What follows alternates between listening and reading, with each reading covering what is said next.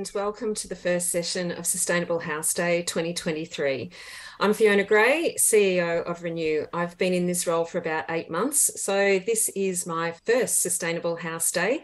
So I am super excited, and we have a huge crowd joining us. So that's wonderful to see so many people really excited about sustainable house, uh, about sustainable homes as well. As Anna just acknowledged, we're all joining from different Aboriginal lands today.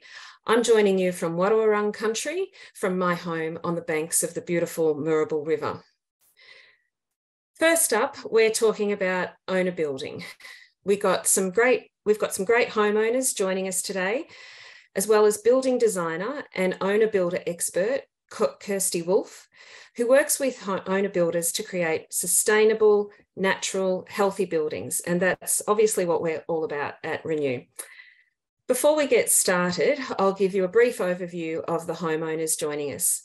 All of them have provided house profiles that can be viewed on our website with photos, uh, house tours, videos, um, detailed sustainability credentials, so you can really drill down into learning more about these homes. You can also continue the conversation and make further inquiries in the comments section. So we encourage you to have a look and we'll, we've shared the links in the chat. So first up, we have James Goodlet, architect and owner of Harry House, a beautiful owner-builder project from Anglesea, Victoria. Harry House is a 138 metre squared, functional, flexible, livable and really uncompromising home with a really modest footprint. So welcome, James. Welcome, Kirstie. I see you just turned on as well. Thank you. Thank also, you. Join, also joining us is Roger Voorhoeve, architect and owner of Goolwa House, located in Goolwa, South Australia. Roger's home is a stunning Scandinavian style owner built home with multifunctional living space that accommodates different setups, whether you're um, accommodating your family or as many of us are doing now, working from home. Thank you. Today, welcome. Today we are also going to be joined, we were also going to be joined by Benjamin Bailey Webb, owner builder and resident at Nook on the Hill, located in Halls Gap, Victoria. Now, Benjamin is a firefighter, and given the, the, the fires that have been breaking out uh, yesterday with pretty horrendous conditions, he's actually fighting a fire. So, unfortunately, he can't join us today. However, I also encourage you to go and look at Benjamin's build, um, which we will put in the chat. So, Nook on the Hill is a double story, single bedroom home that uses many recycled materials for its construction. Uh, the design philosophy of the Nook has always followed one of minimal impact that aims to exploit maximum function, functionality for its tiny 24 metre square footprint. So that's thank you everyone for joining us. Um, and yeah, let's get stuck into it.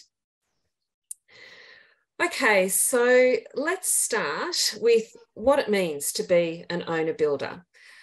Why should I consider becoming an owner builder? Kirstie, would you like to start us off? Yeah, I will. Look, the first thing most people think of when they look at becoming an owner builder is the cost savings. And the answer is yes, you can save money um, by doing some of the work yourself, uh, sourcing materials, uh, selecting particular suppliers or contractors and getting various quotes for those, um, those aspects of it. Um, but the issue is most owner builders don't actually put a dollar value on their time. And owner building takes a lot of time. So people need to be aware that if you're going to take on the role of an owner builder, you need to balance um, how much time you're going to be able to commit to that project with what other commitments you have in your life um, and how much time you can possibly sort of dedicate to the building project. Um, another thing that people sort of want to do with owner building is that they want to create something that's unique and personalized and they want to do it themselves. Um, and often the build becomes then a creative outlet. Um, now, being an owner builder can mean that you do work yourself, but it doesn't have to. The owner builder is effectively the building manager. So people can actually become an owner builder and subcontract all the work, but they are the person who's ultimately in control of that work. Um, so as an owner builder, you can actually choose how much work you physically do yourself and how much you subcontract out. And so that issue of control over the project, And also, flexibility in running the project is another reason why people look at doing owner building. Um, sometimes people choose to build in a particular way, they want to manage the timing of the project, they have to work it around their own work commitments. And so, owner building means that you are the boss, you're the person in charge, and you can then control when things are done, how they're done, selecting materials, um, and details, and you can then work at your own pace. Um, be aware everything takes longer than you think. Mm-hmm. Um, when I was an owner builder, someone gave me some great advice, which was when you're at lockup, you're only halfway, which I think is very, very wise and very true. Yeah. But getting out of owner building, people can often get a real sense of achievement. And this was one of the unexpected things that I actually got out of owner building and uh, also sort of talking with uh, a lot of women who've been owner builders in particular, there's a real sense of empowerment in being able to manage and control a project and see something being built, something really substantial. Um, so you can actually get a lot out of owner building. And last but not least, um, fun. Um, there are people out there like me um, who actually enjoy building and and having a, an owner builder project can actually be a bit of a uh, a source of sort of uh, recreation as well as a productive uh, endeavor. Um, but however, it's not quite like you know going out and playing a round of golf on a Saturday morning once a week. Uh, being an owner builder is much more um, all encompassing than that, and it will take up a lot of time. So as well as being fun, you've just got to remember that sort of commitment in terms of responsibility and time. I love that, Kirstie, given that um, so many of us are very familiar with grand designs and it often doesn't look like a lot of fun for, for some owner builders. So it's great to bring that perspective to it. And also, I love that you talk about the creativity. I live in an owner built home. I did not build it myself, it, it was built in 1989. But the creativity is really evident in this house. It's got all these lovely little quirky things that you wouldn't get in a standard build. So, uh, uh some great points there to the to the whole panel as an owner builder and anyone can jump in here. You know there, there's been so many considerations before kicking off on your journey i'm sure there was. So how did you get started on your journey to your own owner built home? Who wants to kick off? Good question. I'm not sure about you, Roger, but uh, yeah, I guess I I started with the uh, the intent that uh, we well we would we we design houses for, for, for a living. So it, was a bit of a no brainer that we're in this kind of game. And so for us, uh, we were going to be pretty uh, heavily involved. So um, so it was that pathway for for me seemed to make sense. Uh, having had a lot of experience dealing with trades and and so forth, I had the comfort uh, and confidence that that wasn't going to be a problem. Um, and yeah, I think it's probably one of the things that I would uh, I would definitely recommend people consider is how do you communicate, um, especially with the trades and the things that you're not doing, and how how comfortable are you? I, I think at the start, setting real expectations. Like um, we were trying to achieve passive house levels, so uh, we were bringing in local trades that hadn't had any experience in in detailing in that way.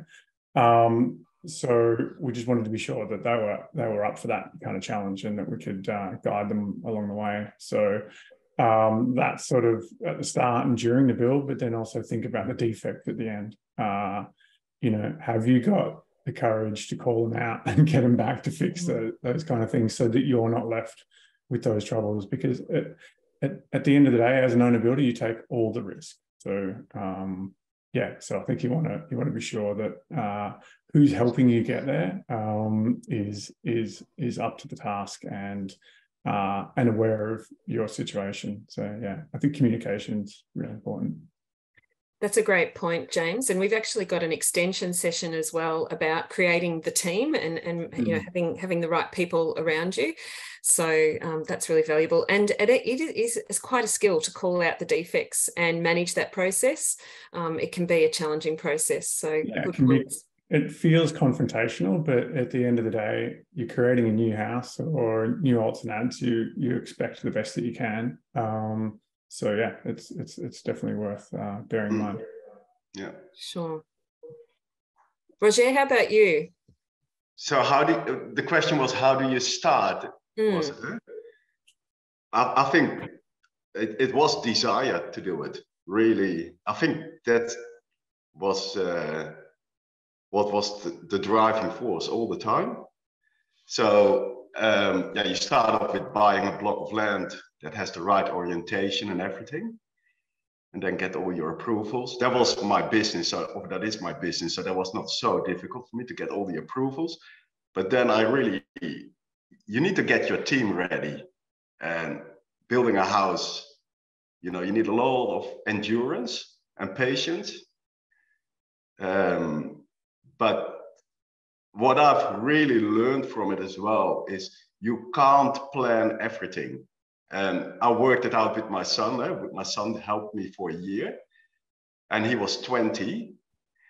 And they, you know, they have a bit of a different mindset when they're in the 20s. You know, they just get on with things. You know, and that was really important throughout the whole build as well. You know, it's really good to plan a lot of things, but you also need, okay, let's just go. And then the next stage will unfold by itself. You know, you it, it's really it's it's a beautiful process. Of course, you need to know where you're heading to, but it's also really nice just go with that flow. Yeah. Absolutely. And, you know, touching on that, having that fire in the belly, you know, I think if you've got that fire in your belly to achieve uh, something like this, it's such a rewarding thing to do. It is. And it is, it, it was for me absolutely necessary to have it because um, I think Kirstie was saying that, you know, at lockup, you're at 50%. And absolutely, that's true. And it is actually a little bit shocking because you've spent so much time on it. And, you know, um, I'm in my early 50s, so your body is really taking all that uh, toll as well. And then you still have to do the other 50%, and especially the last 10% takes so much time, you know, finishing it completely. And I, that's what I really wanted, you know, I really want to have it completely finished before you move in, or because otherwise a building can be unfinished for years which some people find okay, but I really had something. Well, I really like to have a start and a finish, you know, and working. Yeah, I, yeah. I think I think I, I can agree with. Uh, you need that patience, especially yeah. towards the end. Like we were living in pretty primitive kind of conditions while we were uh, waiting to move into our house. So that we, the jump and the and the eagerness to get in was definitely there. But holding holding tight to make sure everything was done and executed properly was was pretty important.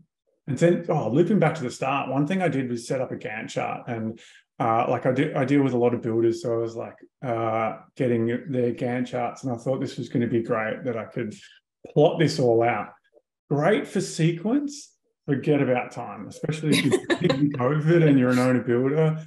Uh, and as Roger was saying, you've just got to take one step at a time and uh, and focus on that task at hand rather than be overwhelmed by everything that's that's that's going on. Uh, yeah, sure, there, there are some lead times with certain things and and that kind of organization, but there's only so much you can tackle it at one time. While while you're still trying to run a business and work. yeah and the nature of building you know there's always variables that are beyond your control so actually being able to just go with the flow a little bit yeah. is, yeah. is really important otherwise it becomes quite stressful yeah. so um roger you did touch on something around um so, so we're talking about you know having that dedication to the cause i suppose but then it can also be daunting for people who don't have specialist skills um, and, and so, you know, the idea of building their own home may feel unattainable.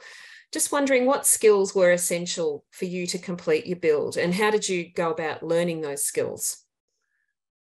Um, you know, before you start building, you need a lot of skills as well, which are really important. So actually, before a construction starts, you need a lot of organization skills, you know, get everything organized your approvals, your consultancy, and how you plan it all, and your team that we just spoke of, you know, and um, uh, once that is all set, another really important aspect is budgeting.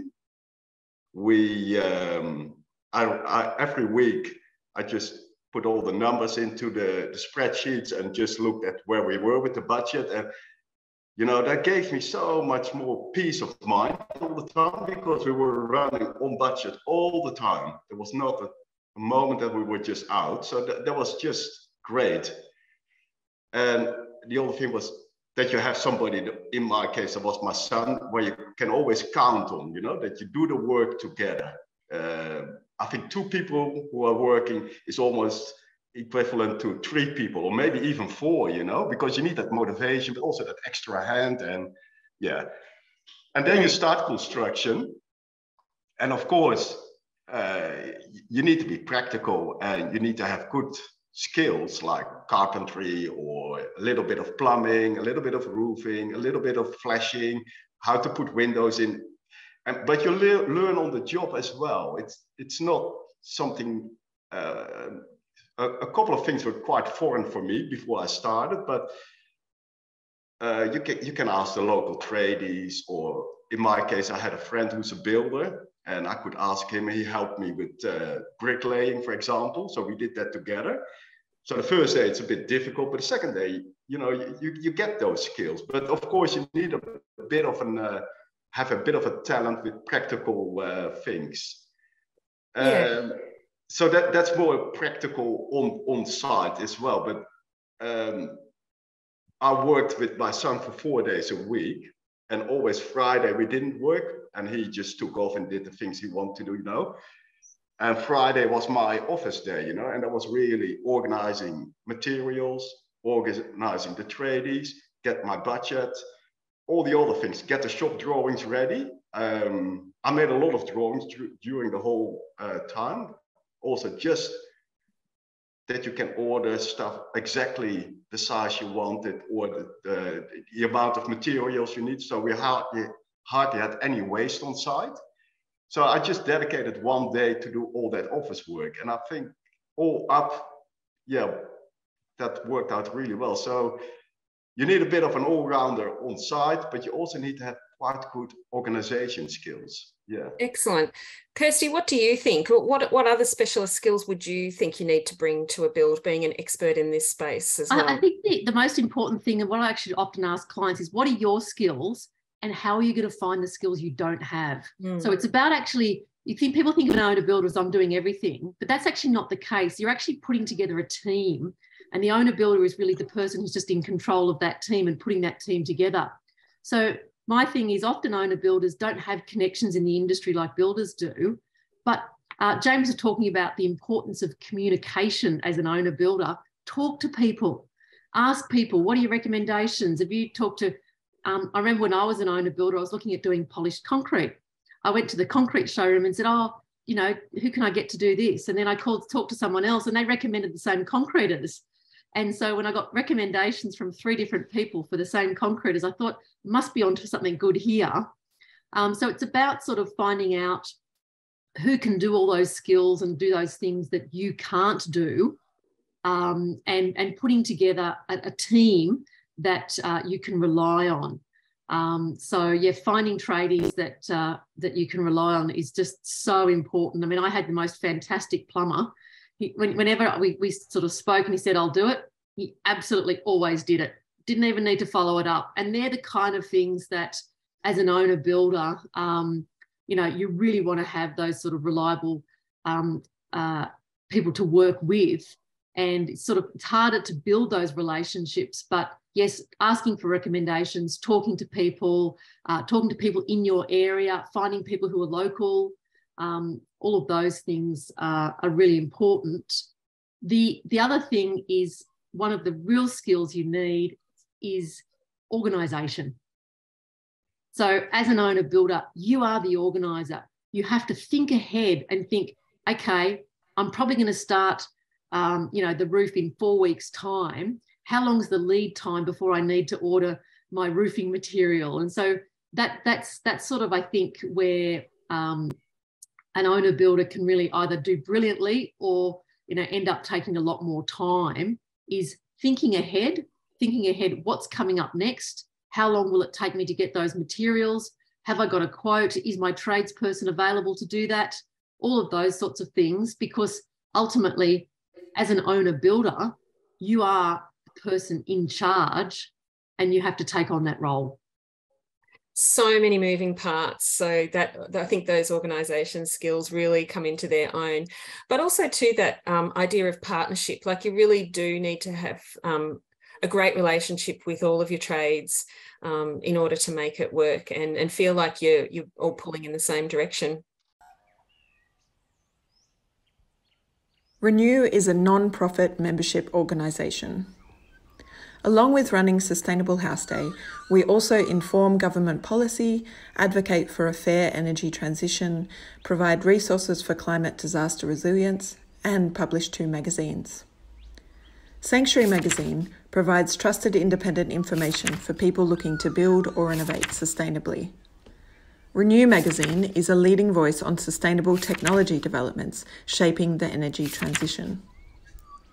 These magazines grew from member newsletters in the 1980s and still maintain their grassroots independence and practical approach. Both are incredible resources, and subscribing is a great way to support us to transform Australian homes for climate and energy resilience. James, Harry House is a really um, beautiful example, I think, of what's possible as an owner builder interested to know um, you know from the practical perspective how long did it take and how did you manage your time throughout the whole process? Hmm. am i allowed to take deductions out because of uh, material delays or?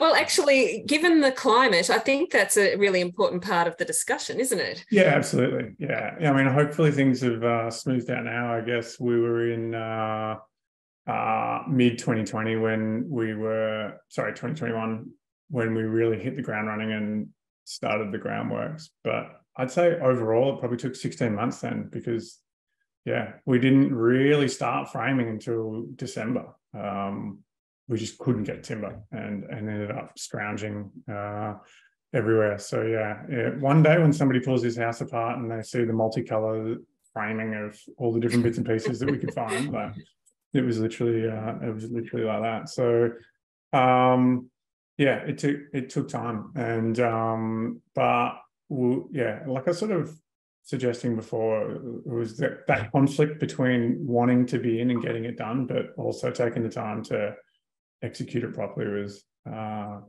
was pretty pretty critical. So yeah great. Yeah. Okay um I'm conscious that we're getting a heap of questions coming through. So I'll just ask you all one more question and then we'll um, get to the questions from our audience. And uh, we won't be able to get to all of the questions, but we'll, we'll do our best. Um, but just, just to sort of wrap up before we head to that section, anything else you think is important for owner builders to know based on your journey? Uh, my, my thing, I can see that a lot of questions are coming through on how do you start? You know you want to become an owner builder you don't really have a background in building. Where do you sort of where do you sort of you know find all that sort of background? So at least in new south wales you need to have done an owner builder course. Um, and most of those provide actually some quite sort of uh, useful material in relation to um, sequencing contracts um, those sorts of things which can give you an idea about those roles of being a manager. They even talk about um, uh, you know, how do, how do you sort of put that uh, sequencing sort of together, the order of trades. There's a couple of also um, really good books out there. Um, there's one called uh, Building Your Own Home, um, and another one called the Australian House Building Manual. Um, uh, someone Staines is the, is the author of that. And, and those two books are really good primers just in terms of how do you build a house. They're really understandable by the average person and it can give you the language to use when you're talking to your contractors. It can give you an idea about what to expect in terms of the house going together. Um, and they're just a really good uh, starting point. So often when I'm working with owner builders, I'll actually lend them some copies of those books um, just to sort of go through and so that they can actually feel a bit more confident um, in terms of the building process um, and, and how things go together. Just on that, they're great resources. Thanks for pointing to those, Kirstie. Um, do you think owner builders also need one? This is a question that's come in from Jane, which is uh, quite topical around this. Do you think owner builders need to purchase and become familiar with the National Construction Code and Australian standards? Or how do you work with your building surveyor in that regard? Well, they don't need to purchase the National National Construction Code because that, that's free. That's available online. So. Um, really worthwhile having a look at that. Um, and really, I mean, it's it's going to be really difficult for anyone. Stand, so, the, but just to, just to point out though, the National Construction Code is, but Australian standards aren't, and they're quite correct. expensive. I'll, yes, I'll get to that yeah. one. Sorry. Um, so so just in, in terms of that, but with the National Construction Code, it might be it's not the kind of thing you can just start at the beginning and read all the way through. It's more a case of as questions come up, or things come up that you're not quite sure about, then referring back to the NCC is a, is a good thing to do. Um, standards are a little bit more difficult because they are not available freely um, and that yes, you need to pay for them. However, a number of local libraries will have them available.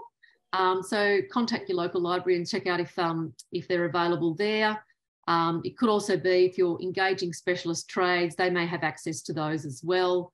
Um, also, there are some uh, great things that online that you can get which sort of summarize those. So um, there, there's some other, other alternatives um, because also the Australian standards can sometimes be quite dense uh, in terms of reading for someone who's not familiar with the material. But it would be in some circumstances they they may be critical, like to get yourself across waterproofing in wet yeah. areas, for example, like that is risky kind of building in those areas. So, um, in terms of that, there's actually a lot of material online which is actually for training. Yeah. Um, so people who are doing sort of TAFE courses and that, they often put a lot of the, the subject material online. So people who are studying building and those sorts of things, and a lot of that's actually available. So um, a good Google search can actually come up with a surprising amount of relevant information. Um, however, you do need to be discerning about um, where that information is coming from. So if it's coming from a reputable training organisation, then you, you know pretty right in terms of trusting that. Um, if it's just coming from um, some unknown source, then I'd, I'd sort of be questionable. Great. Um, Roger, um, perhaps you can address this one. This is a question from Margaret, just talking about the inspection processes, um, private certification and, and, and getting that final certificate. Um, what should lay uh, what should lay people in the industry know about getting those approvals? Yeah, um, that is pretty important. Uh, first of all, of course, you got your um, full development approval before you make a start on site. And that was actually uh, what I wanted to add to the previous conversation. You know, I think really good drawings are uh, a very necessary part before you start, you know, and having that really good relationship with, with your designer as well, so that he really guides you through. So that was just uh, what I want to add.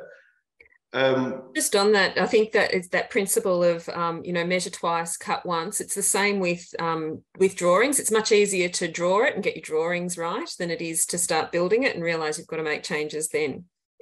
Yeah, exactly. And also the drawings also determine the sequence of the building, you know. So if, if, if the drawings um, are not so complicated and not all things are, all the information is in one drawing, but for example, you've got a drawing just for the slab, just for the timber framing, just for the windows, makes it so much easier for somebody to manage the whole build, you know, and also get the traders involved and get quite quickly in understanding what's going on. So I would just simplify the drawings and yeah, give them to the traders what what they exactly need and not all the other information. Yeah. So that was that part. Uh, what was your question again? It, it was around the inspection processes, oh, getting inspect, yeah. final certificates and that sort of thing. How yeah. do lay people go about doing that? Yeah, yeah, yeah it, that's required. So um, you just need somebody to, um, you can ask a private certifier or a builder. I used a builder in this case. Um, there's a big there's a big gap though, because isn't there, Roger? Like we we have mandatory inspections for foundations and yeah. and, and, you know uh, and slabs, and then we go to framing, and then there's this massive gap until we get to completion, right? and whatever exactly. happens in between there is yeah. really great. So, so for argument's sake, you go and get your energy rating. It's saying you're doing this in the walls. Nobody's actually going to check that properly. No. That's the biggest problem with our industry. So, I think as an owner builder, um, managing uh, that expectation that nobody's really there from a from a I guess a, a legal point of view to actually support you um, through through that. And I think you know just using insulation as an example, like it's true important that it gets installed properly. Um, and and if you're engaging somebody to do that, um, I'd, I'd recommend getting an independent inspector in to, to make sure that that actually got executed properly. Um, or if you're doing it yourself, as Kirstie was saying before, school up a bit online. There's a few uh, few trainings and how tos on those sort of things. Um, my, my thing also would be read your development approval carefully, read your construction certificate carefully in terms of what documents are required. So all of those conditions in your um, either planning approval or um, development application, um, development approval, depending on what state you're in, um, you need to make sure you comply with those. And so you need to make sure what document do you need documentary evidence showing that you comply with those? And it's much easier to get that as you go along. So um, if you need proof showing that your termite barriers have been put in, get that certificate when the termite guy comes or uh, termite person, sorry, comes or straight afterwards um, so that you're not having to chase those things up later. Get that certificate for your waterproofing when your yeah. waterproofing is done so that at the end, when you're asking for your occupation certificate, you have all that documentation yeah. available. Mm. Yeah, exactly. That's that's what I want to say as well. Every trade who's finishing his job just ask for that uh, certificate, just bind them all in, and at the end, you know, you've got everything covered. Yeah, and it's a bit what, what, what James is saying as well. You know, there is before they pour your slab, you know, you get that checkpoint um, when the timber framing is all up, and then it's a bit of a gray area. But you want your quality built anyways, built anyway. So you you need to check everything. Yeah. Absolutely. Can you so it sort of touches on this idea of quality. Um, can you talk a little bit about, and any one of you can respond to this, about insurances required for owner builders? I'll, I'll jump in there. Um, in, in, terms of insurance, there's a couple of different things. There's there's sort of the liability insurance for what happens on the site, and then there's insurance for the works. So in terms of that, two different things. One, you're ensuring the work that's already been done. So you know you've got your, yeah. your frame up and a tree falls on it. You want to be covered for that, or you get your frame delivered to site and someone steals part of it. You want to make sure you're covered for that. But in terms of um, public liability, I mean, uh, you've got to be careful about, you know, who is covered. Um, have you just got insurance for the works and not for people? If you're having volunteers on site, are they covered in your um, public liability insurance? Um, all of your trades should have their own. That's something you might want to ask them when they're um, when you're engaging them. Um, and reading the um, actual policy that you're getting carefully to find out, particularly in terms of volunteers uh, and people on site, who is covered and who is not covered. Yeah, I think um, I recall like things like site security and things like that were, were sort of mandatory for it to be relevant, I guess, and covered. Yeah. yeah. Mm. Um, there's a lots of questions here, so uh, I know we're not doing a deep dive, but uh, we want to try and get to as many as we can. Um, we've got someone, Kristen, who is has absolutely no background in building, and they've been um, advised to employ a project manager, but she sort of said, well, does that void all the positives of cost savings, you know, having empower, empowerment over the project, um, how they decide to pace it, you know, bringing that creativity to it. So uh, the question is really, would you suggest a project manager for absolute beginners? Um, in, in terms of having a project manager, they effectively are going to take on that role of the owner builder, which is what the builder would normally take over, that organisational role. So if you're going to get a project manager, you're not really, I mean, you are technically being an owner builder, but you are contracting out that primary um, responsibility. Um, so if, if they're a bit nervous about that, my thing would be Um, maybe try and get uh, a local builder that you could pay by the hour to ask your questions to. Um, so it's like things like sort of building up that team and that knowledge to sort of say, well, do you have um, sufficient information? So if you're not quite sure, try and get someone that you could perhaps pay to come in, double check the work if you're not quite sure, um, to, to help give you that confidence is my suggestion. Yeah, perhaps just, you know, bringing in that expertise when it's most important at the various steps. Um, Brett has asked, what are the three biggest areas of savings? So, um, you know, what did you actually value as an owner builder? How do you value your own time? Um, and if you value your own time at a certain, you know, dollar yeah. per hour rate, would you still have saved money versus outsourcing?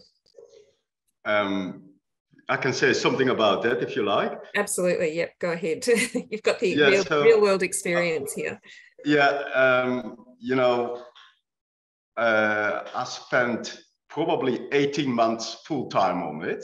So if you calculate that back to a dollar figure, well, what is it? Maybe one and a half, 200,000 or so, something like that. Eh? If you just work somewhere, I don't know. So I built a house for about 260,000, including the trades and um, everything. So that was all completed. But if you add my time to it, it's say four and a half. I would say. And if you get somebody to do it as well like that, you know, you probably spend that amount of money then. But I think uh, you will not find a builder who will build it for four and a half in the moment. So I think you still save a lot of money. Yeah. And it shouldn't, or maybe it should, but maybe we shouldn't use the word should, but I, I think the drive should be different than just cost saving it. Uh, yeah. um, because the process is too long for that. Mm. Uh, I, I, think the, the, drive has to be that you want that unique experience of doing it yourself, hands on. And I can really highly recommend it to everybody to do it because that's what really gets you, uh, you know, excited all the time to get it done. Mm. And you need that drive, huh? You need that drive. Yeah on, on the flip side, like if you're going into a fixed price contract with a builder, it is it is set with the expectations are set with everything that you're getting and you're going to be delivered. It's all predetermined. Um, and there's not a lot of flexibility in most cases, right? Um, and then whereas if you're an owner builder, you you I guess you know the pathway to completion is completely uh, flexible, but and and that is from a cost point of view as well. So like Roger's spreadsheet that he continually checked the balances on as he was mm. going gave him the flexibility that when he was purchasing things later on in the build, he could make up a bit of that ground yeah. um, and, and has that flexibility within it. So I guess you can't put a dollar figure on how much you're going to save as an owner builder. You could blow out, you could go the other direction, but you you the, what what you're doing is you're taking that power and you're you're choosing your pathway uh, as you go and pulling levers as you go as well. You could come out of the ground and go whoa i didn't know that i was putting in all that concrete there and i've now i'm i'm i'm in like 15 grand or something like that at the moment. Like you know you just you could go, you could be going the other way and then working backwards from there. But um yeah i guess you're empowered to make a few of those yeah. calls along the way there's a question, um, Kirstie, I might direct this one to you from Ruth. Mm. Um, she's saying, what is the absolute first step for an owner builder project? Is it the design? Is it finding the designer? Do you have to talk to council first? Do you have to organise your finance first? You know, where, where do you actually begin? Uh, that's a good question. I think number one is, do you have the time and skills to actually be an owner builder? Um, you know, looking looking that that first. Um, I'm aware that a lot of owner builders do have issues with obtaining finance. So some institutions are uh, better at working with owner builders than others. Um, there are some mortgage brokers who will specifically find you mortgages that you can get as an owner builder, but certainly um, there are some mortgage mortgages who will not lend to owner builders. Um, so sort of that's something you definitely have to have a look at. Um, in, in terms of council approvals and those sorts of things, your building designer or architect should be able to um, give some good advice in relation to that. Um, uh, whether what they're wanting to actually build is able to be done on the site um, and any sort of restrictions on the land and those sorts of things. Um, that would be sort of, I think, so yeah, a good a good sort of starting point. Um, in terms of the design, um, I, I, think that's also as an owner builder, uh, keeping things simple, um, particularly if you're going to be doing the work yourself. Have a look at what skills you have, and you know, um, if, if you're skilled in a particular area, try and maximize that that use of that skill in your build. Great advice. Um, there's a question here from Jeff. He's mentioned, you know, we're all very familiar with the the news stories about, um, the, you know, the cost of materials going through the roof and tradies being, you know, as rare as hen's teeth and is super yeah. expensive. Um, and you know, but you know, supply chains are, are starting to settle. Uh, of course, we've still got interest rates increasing. Like it's a pretty interesting dynamic to be working in at the moment. Um, just as an opinion, I suppose, do you expect the cost of materials will come down and the demand for tradies and their costs will also start to come down? What are you seeing? No idea, to be honest. no, no, I don't think it can.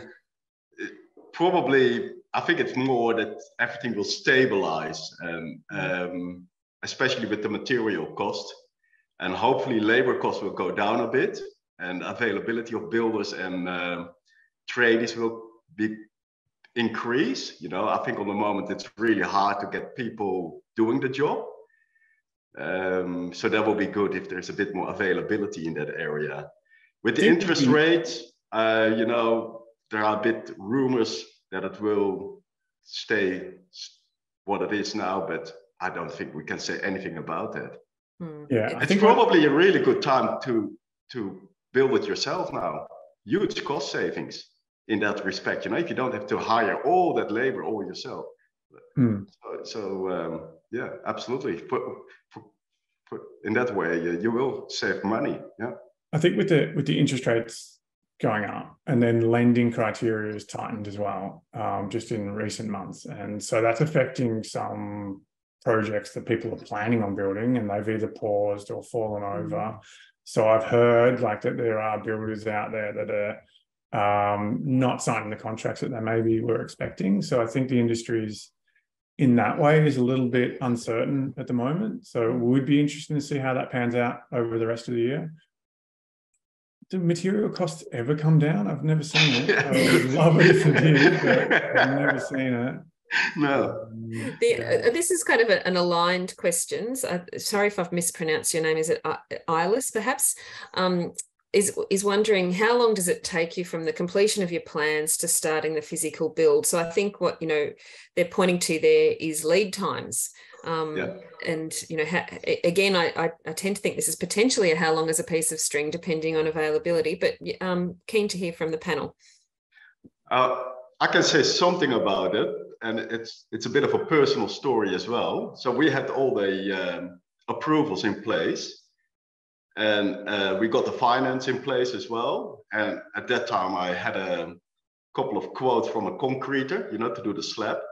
Uh, I can advise people to do always get subcontractors in to do the slab, you know, because that's really sets your whole build in measurements and in quality.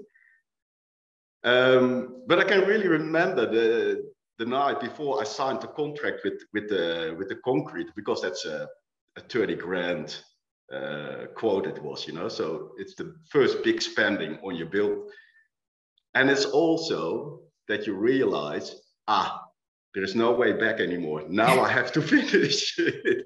So yeah, makes it very real. Yeah, very real. And I, I was very nervous, and uh, my family just said, "Just go for it." And yeah, that's it. Yeah. Um, um, oh, sorry, James. Go oh, ahead. I was just going to add from getting approvals to actually digging uh, on site and doing groundworks and plumbing and so forth.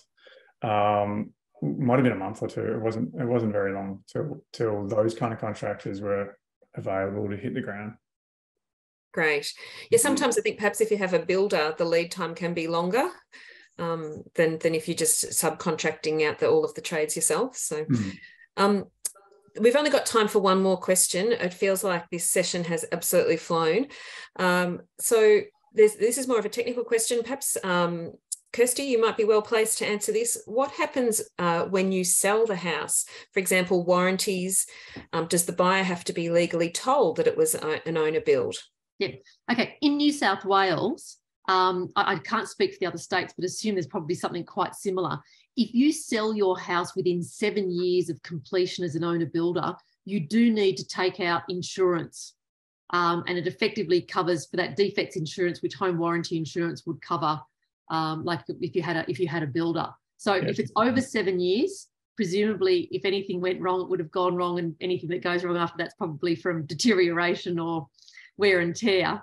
Um, but at least in New South Wales, if you sell within seven years, you do need to have um, uh, insurance uh, for that that um, uh, the quality of the build. If there's any, yeah. if there's any, it's likewise in, major in Victoria. Yeah. Mm. Yeah, good information to have. With um, with time running short, um, a quick, succinct answer from each of you, perhaps. What would be perhaps your key takeaway you'd want um, anyone considering owner building to take away? James, perhaps if I start with you. All right. I think if you're passionate about your own house, house and you want to be a part of that creative process and you can handle the stress of day-to-day life and and taking on a build, go for it. But if uh, if all those things spook you a bit, maybe don't do it. Roger? Yeah, I agree with James. Absolutely. You need that passion.